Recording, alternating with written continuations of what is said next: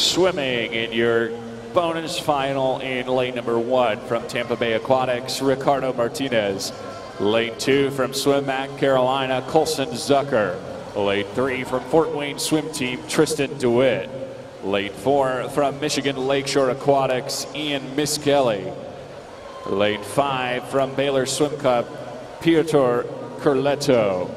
Lane six from Badger Swim Club, Nicholas Torres. Lane seven from Nova of Virginia, Zachary Cram. And in lane eight from Gulliver Swim Club, Trahern Gribble.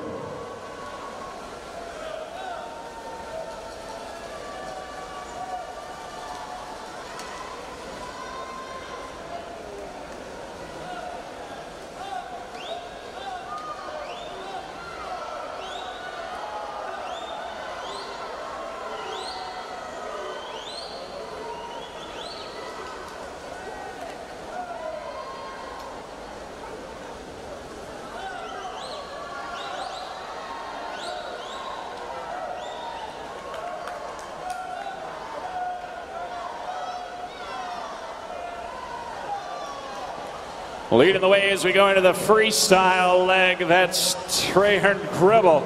Trahern Gribble of Gulliver Swim Club.